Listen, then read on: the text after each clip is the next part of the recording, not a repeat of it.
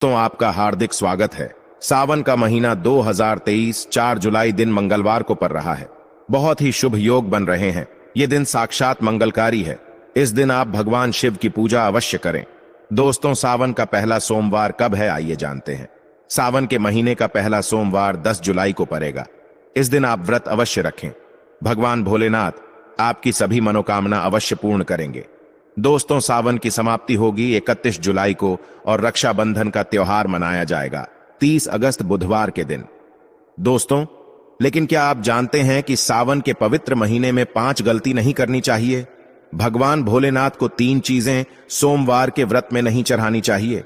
साथ ही साथ तीन महिलाओं को सावन का व्रत कभी नहीं करना चाहिए। घोर पाप लगता है घर बर्बाद हो जाता है। तो दोस्तों, आइए जानते हैं कि सावन के महीने में व्रत विधि और शिवलिंग पूजा कैसे करें और क्या क्या गलतियाँ नहीं करनी चाहिए। तो दोस्तों, चलते हैं और सुनते हैं गुरु जी से कि वो क्या कहते हैं इसके बारे में। हेलो दोस्तों, मेरा नाम है मिस्टर गोलू कुमार। आप सभी को एक बार फिर से स्वागत है। तो चलिए आपको बताते हैं, लेकिन उससे पहले दोस्तों, सावन सोमवार व्रत विधि इस प्रकार है। सावन सोमवार के दिन जल्दी उठकर स्नान करें। इसके बाद भगवान शिव का जलाभिषेक करें। साथ ही माता पार्वती और नंदी को भी गंगा जल या दूध चढ़ाएँ और चाहे कुछ भी हो जाए, शिवलिंग पर तुलसी का पत्ता गलती से भी ना चढ़ाएँ। नहीं तो हो जाएगा सब उल्टा, इससे पाप लग सकता है। पंचामृत से ही रुद्राभिषेक करें और बेलपत्र अर्पित करें। शिवलिंग पर धतूरा, भाँग चंदन और चावल चढ़ाएँ और सभी को तिलक लगाएँ। प्रसाद के रूप में भगवान शिव को भी शक्कर का भोग लगाएँ।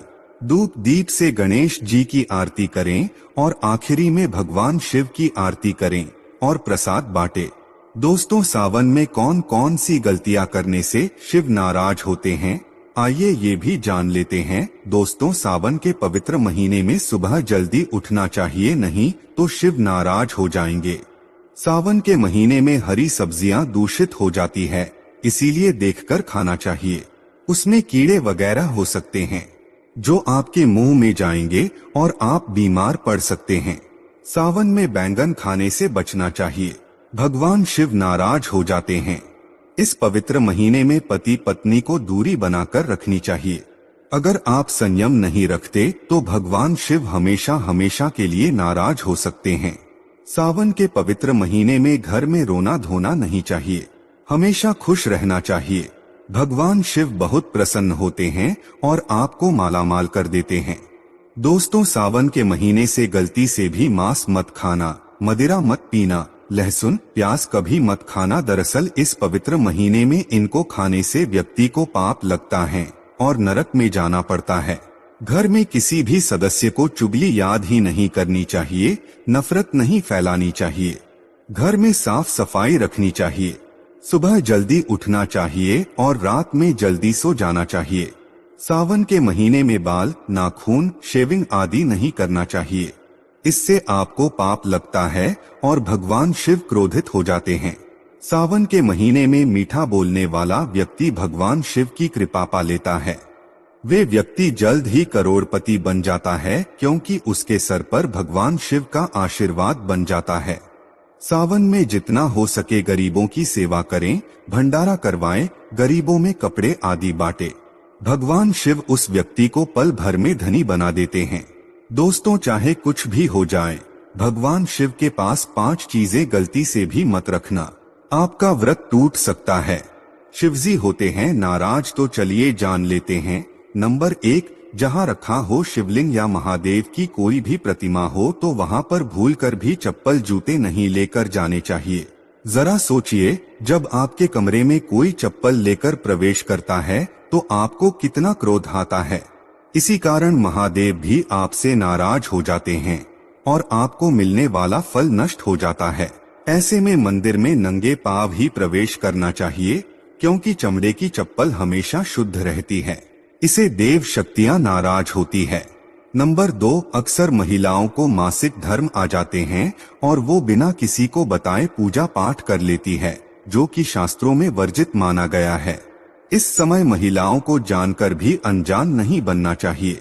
अगर आपको मासिक पीड़ा है तो घर के बनी मंदिर में या बाहर बने मंदिर में भी कभी प्रवेश न करें। इससे देव शक्तियाँ नाराज़ होकर आपसे क्रोधित हो सकती है। ऐसे समय में शिवलिंग को छूना घोर पाप के बराबर माना गया है। जरा सोचिए ऐसी अवस्था में जब महिला को बुरा लगता है तो ईश्वर को कितना बुरा लगेगा। इसीलिए महिलाओं को ऐसी अवस्था में मंदिर या घर में पूजा पाठ, भगवान की प्रतिमा को छूना या तुलसी में पानी भी नहीं डालना चाहिए। तुलसी का पौधा भी सूख जाता है। जब देव शक्तियाँ नाराज़ होती है तो लाजमी है कि घर में कंगाली और गरीबी लड़ाई झगड़े होने लगते हैं। ऐसा कभी मत करना। दोस्तों, नंबर तीन शास्त्रों में बताया गया है कि जहाँ होता है, शिवलिंग तो वहाँ पर सभी शक्तियाँ सक्रिय रहती हैं। अगर घर में होता है, शिवलिंग तो वे व्यक्ति महादेव की कृपा सदैव पा लेता है। वास्तु शास्त्र के अनुसार शिवलिंग से हर वक्त ऊर्जा का संचार होता रहता है। इसीलिए शिवलिंग पर जलधारा हमेशा होनी चाहिए, जो ऊर्जा को शांत रखता है। कुछ लोग अपने घर में शिवलिंग तो रख लेते हैं, लेकिन वो एक हफ़्ते के बाद जल चढ़ाते हैं, जो कि बिल्कुल भी अच्छा नहीं माना जाता। अगर आप जल नहीं चढ़ा सकते हैं तो आप अपने घर में शिवलिंग को स्थापित कभी ना करें। क्योंकि गरुड़ पुराण में बताया गया है कि इससे उल्टा घर में विनाश हो सकते हैं। नंबर चार शास्त्रों में बताया गया है कि तुलसी और महादेव का बैर माना गया है। इसी कारण तुलसी में शिवलिंग और गणेश की प्रतिमा को ना रखें। कई लोग जाने अनजाने में शिवलिंग को तुलसी में रख देते हैं और घर में परेशानियाँ आनी शुरू हो जाती है। इससे महाशक्तियाँ क्रोधित हो जाती है। शिवलिंग पर तुलसी कभी ना रखे तुलसी में और शिवलिंग में कुछ दूरी होनी चाहिए। नंबर पाँच, घर का बना मंदिर या बाहर का मंदिर किसी भी मंदिर में ऐसे व्यक्ति को प्रवेश नहीं करना चाहिए, जिसने स्नान ना किया हो, किया उसने मांस खाया हो। अगर आप शारीरिक रूप से गंदे हैं तो मंदिर के आसपास कभी ना जाए। घर के बने मंदिर में कोई कपड़ा आदि डाल देना चाहिए। जरा आप ही सोचिए, क्या आप मांस खाकर या बिना स्नान के भगवान के पास जाएँगे तो क्या वो आपसे प्रसन्न होंगे? बिल्कुल भी नहीं। वो आपसे क्रोधित हो सकते हैं और आपसे नाराज़ हो सकते हैं। शास्त्रों में इसे घोर पाप माना गया है। इससे व्यक्ति नर्क में जाता है। ऐसा दुष्ट स्वभाव मनुष्य की बर्बादी का कारण बन सकता है। ऐसा ना करे ईश्वर के सामने हमेशा नहा धोकर मन पवित्र लेकर ही जाना चाहिए। इससे सभी शक्तियाँ आपसे प्रसन्न रहती है। इसी के साथ ही क्या आप जानते हैं कि सोमवार के व्रत में यह फल कभी नहीं खाया जाता? अगर आप गलती से भी इस फल को खा लेते हैं तो ज़िंदगी भर भगवान शिव के क्रोध का सामना करना पड़ता है। आपका व्रत भंग हो सकता है।